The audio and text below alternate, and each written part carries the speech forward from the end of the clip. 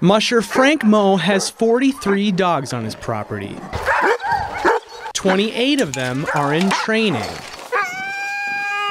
And none of them are quite like this seven year old Alaskan Husky. We were really grateful to have him. And, and Indy became a star almost right away. In fact, he, was, he finished the Beargrease Marathon when he was two. Fast forward to the summer of 2016, the prodigy lost one of his eyes to a rare disease known as lens luxation, nearly putting his racing career in jeopardy. We still ran him, um, but then he lost the other the sight in the other eye too, and um, and it took him about a year to get used to being totally blind. Because of his high energy and other heightened senses, sitting the races out wasn't an option. We couldn't just not run him. You know, he he uh, was very upset clearly when the other dogs would take off, you know, for a training run. And despite his visual limitations, Indy is just like any other dog.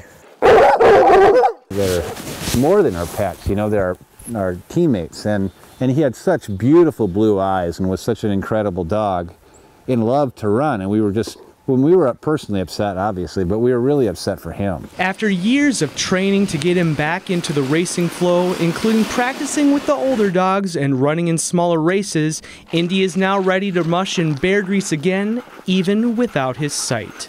This year we started training him uh, just like he was going to be one of the marathon racing dogs.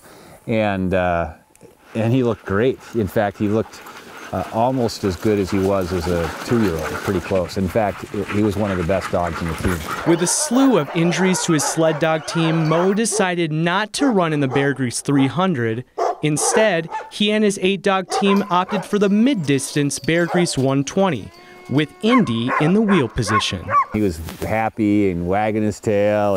He was ready to go again. So for Indy, the dog that almost didn't race again has become an inspiration for dogs of all shapes and sizes affected by the same disease. To know that their dog is going to continue to improve.